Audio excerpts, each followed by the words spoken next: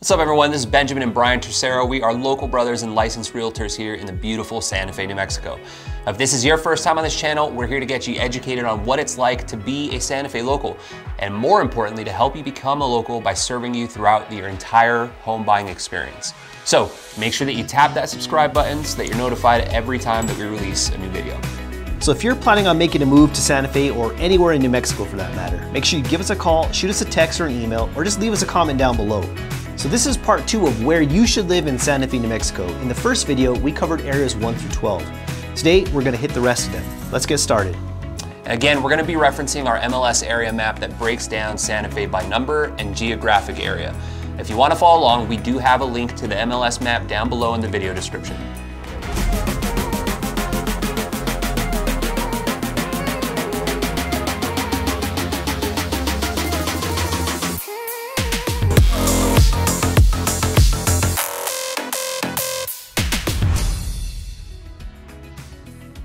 All right, Area 12. If you've been traveling along the Turquoise Trail and the Highway 14 corridor, you're gonna arrive in a town called Madrid.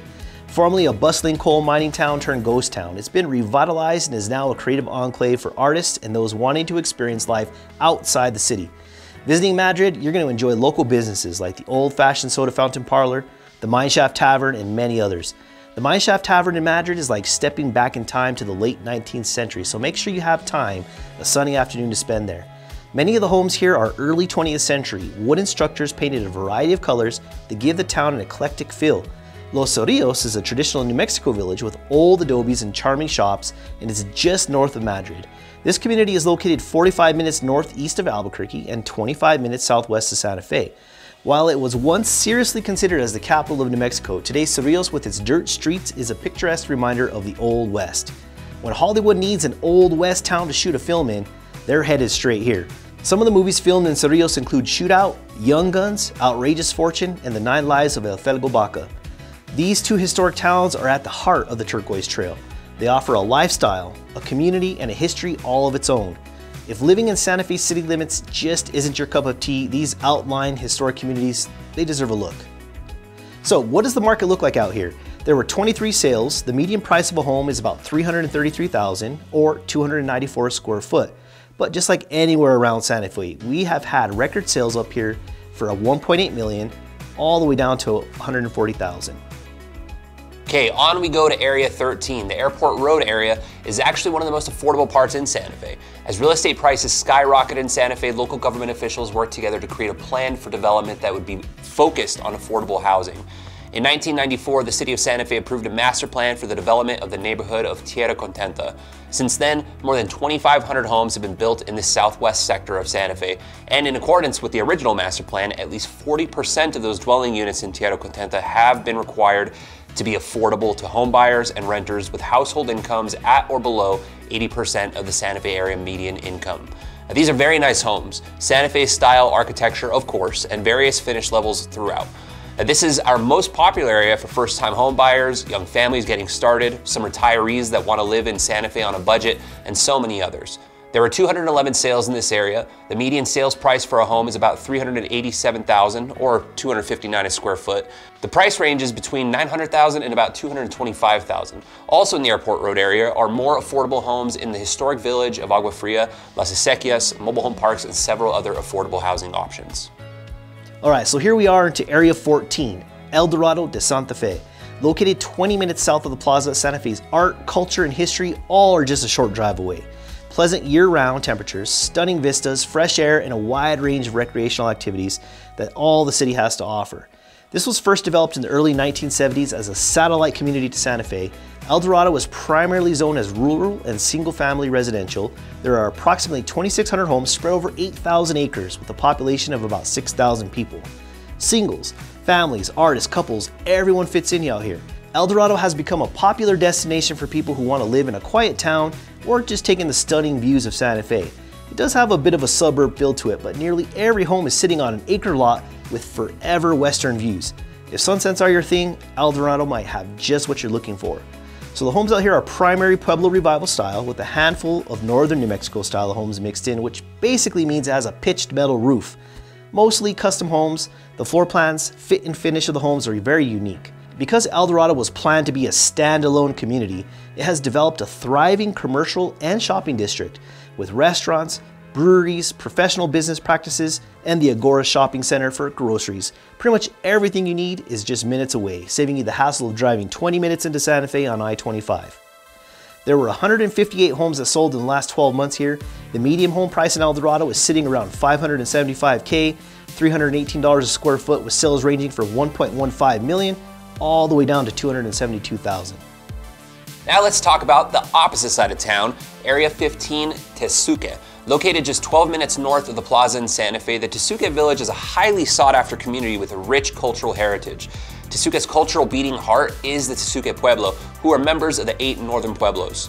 The Tesuque Pueblo people are from the Tewa Native American people who speak the Tewa language. It is home to hundreds of years old structures and history. There are times during the year when one can actually attend ceremonial dances considered as some of the most authentic and true to cultural rituals.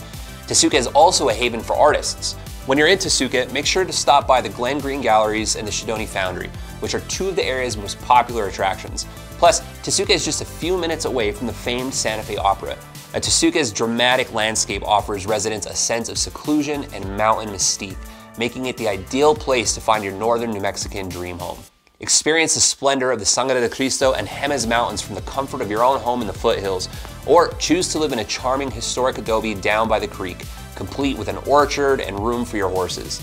The Santa Fe Ski Basin and Santa Fe Baldy can be reached from Tesuque, which is an important starting point for hikers and mountain bikers. At the Tesuque Village Market, hikers, runners, horseback riders, and mountain bikers gather to tackle the rugged beauty of the Windsor Trail. Plus, Tesuque Market Village serves excellent food and some of the best drinks in town. 30 homes have sold in the past 12 months. The median sales price for the homes in Tesuque are 1.3 million or $511 a square foot. Sales out here have closed between 3.9 million and 399,000. All right, Area 16, the Pojoaque Valley. You're gonna find homes with more acreage and privacy, primarily adobe style homes with lots of historic charm and character. These homes exude the spirit of New Mexico with their wooden ceilings, exposed beams, vigas, kiva fireplaces, nichos, and many other features that are undeniably authentic New Mexican. In Tewa, the name Pojoaque means water gathering place or Posugawe, Owinge. In 1680, the Pueblo Revolt led to the abandonment of Pojoaque, a Spanish colonial mission that was rebuilt in 1706. The Pojoaque area of New Mexico was first inhabited around 500 AD, with its population peaking in the 15th and 16th centuries when Spanish colonization began. With feast days in December and January, it is one of the eight northern pueblos and Tewa-speaking Rio Grande Pueblo. Also included in this area is the lush paradise of Nambe, lying at the foot of the rugged Sangre de Cristo Mountains. Just north of Santa Fe, this hidden gem is traversed by ancient acequias. You'll see why it's one of the area's best kept secrets as you wind your way up into the fields of the tall grass, majestic cottonwoods, and rustic homesteads. Pre-Spanish, Nambe Pueblo served as a cultural and religious hub for the northern Rio Grande Pueblos. It's only a short distance away from the Nambe Falls and the Nambe Lake Recreation Area, which is a great place to go hiking, fishing, and spending time with big groups of family and friends. It's only a short hike up the canyon side to get a bird's eye view of three of the Southwest's most spectacular natural waterfalls. For fishing, Nambe Lake, a 56 acre lake located above the falls, is open to the public. The Nambe Rock Formations, a popular filming location, are also in the media area. This area is particularly popular for people seeking privacy, space, and easy commuting access to the towns of Espanola to the north or Los Alamos due west. There were a total of 26 sales over the past year here, with the median sales price of 463,000 or 240 a square foot. There's estates that sell here between 1.2 million all the way down to 150,000. Okay, Area 24, because the person who had an issue with the number 5 also hated numbers 17 through 23 apparently. So, 24 is Las Campanas, which is an amenity-rich neighborhood in Santa Fe, New Mexico. Luxurious amenities and breathtaking natural beauty come together in Las Campanas, a tranquil hideaway in the middle of the Rio Grande Valley and the Jemez Mountains in the northwest section of Santa Fe. It was established in 1992 and it offers the widest selection of custom and semi-custom luxury homes in the area. In the midst of 68,000 acres in pristine New Mexican high desert, Las Campanas is Santa Fe's premier luxury planned community, offering buyers private home sites that blend seamlessly with their surroundings while being only about 10 to 20 minutes away from exploring the historic plaza, depending on how far into the community the home is. The club at Las Campanas is where members can enjoy two award-winning Jack Nicklaus signature golf courses, a 46,000 square foot Hacienda clubhouse with member-only restaurant, a peerless equestrian center, and the fitness and tennis center, which includes a luxurious spa as well. Memberships are not inexpensive by any means, but the experience of being a member is second to none. Now, there are more than a dozen distinct neighborhoods ranging from lock and leave custom and semi-custom Pueblo style homes to handsomely crafted log cabin homes and ultra sleek modern contemporary style residences with some Santa Fe style flair of course. Now most homes will have warm, inviting gathering places for both indoor and outdoor living in order to take advantage of each of New Mexico's four seasons. There have been 88 sales this past year. The median home price in Las Campanas is 1.7 million, or about $511 a square foot, with prices ranging from 4.2 million to about 850,000. So just outside of Las Campanas is Area 25 North, and this is what we call the Northwest Quadrant. It's a great place to live in Santa Fe. It's one of my favorites. With a variety of new and established subdivisions surrounded by arguably the best views of the Sangre de Cristo and Jemez Mountains that can be had in the Santa Fe. The notable communities of La Tierra, Las Dos, and Aldea de Santa Fe have something to offer everyone. Your luxurious dream home in Monte Sereno or Casas de San Juan are only moments drive from the Santa Fe Opera House or downtown on the plaza. Homes here feel like they're in a world all of their own, but you can dine downtown on the plaza with just a 7 to 10 minute drive. Homes around the Opera and Monte Sereno are some of the most luxurious and expensive homes that Santa Fe has to offer. Northwest Santa Fe real estate consists of sprawling estates, equestrian properties, and new developments nestled in the rolling hills, dotted with pine and juniper trees. There were 72 sales here in this past year. The median price for a home is 1.3 million or $456 a square foot, Prices top just at about 4 million on the high side and down to about 750,000 on the low side. All right, hopping over to Area 25 South. We're still in the northwest quadrant, just on the furthest southern portion. Pinon and juniper dotted rolling hills make up the majority of this rapidly expanding area, which has expansion plans that extend far into the future. Located south of Las Campanas, these home sites have the same breathtaking 360 degree views. They're not a part of Las Campanas and have much more reasonable monthly HOA fees because of that. The Jemez Mountains, the Sangre de Cristos, and the Sandia mountain ranges can all be seen from most of the neighborhoods out here. And of course, you will have phenomenal sunset views year round. With a mix of architectural styles, you'll find everything from Pueblo Revival to the most modern contemporary masterpieces. You can expect a 20 to 25 minute drive to get back to the plaza from out here, but it's easily accessible through the New Mexico 599 bypass, which takes you right into town while avoiding all the annoying city traffic, which there's very little of, by the way. Uh, there have been 69 sales with a median sales price of 800,000 and an average price per square foot of about $381.